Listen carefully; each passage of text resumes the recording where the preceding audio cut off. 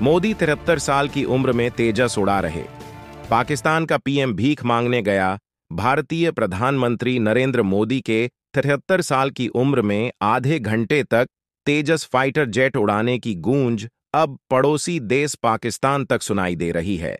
आगे जानने से पहले वीडियो को लाइक कर, चैनल को सब्सक्राइब करें और जुड़े रहने के लिए कमेंट बॉक्स में अपने शहर का नाम ज़रूर लिखें। पाकिस्तानी विशेषज्ञों ने भारत और पाकिस्तान के प्रधानमंत्रियों की तुलना की है।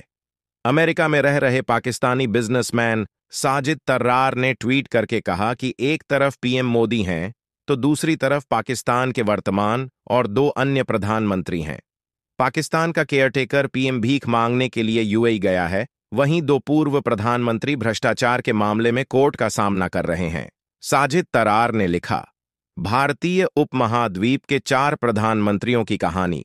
पाकिस्तान के दो पूर्व प्रधानमंत्री एक ही दिन कोर्ट में भ्रष्टाचार के मामलों का सामना कर रहे थे। वहीं तीसरे प्रधानमंत्री ने देश में बने फाइटर जेट में तिहत्तर साल की उम्र में आधे घंटे तक उड़ान भरी, वहीं पाकिस्तानी केयर टेकर प्रधानमंत्री लग्जरी विमान से देश के पैसे वाले लोगों के लिए और ज़्यादा भीख मांगने को यूएई की यात्रा पर गया है। साजिद तरार ने यह टिप्पणी ऐसे समय पर की है, जब पाकिस्तान के केयर अटेकर पीएम देश की कंगाल अर्थव्यवस्था को सुधारने के लिए लगातार विभिन्न देशों के दौरे पर जा रहे हैं।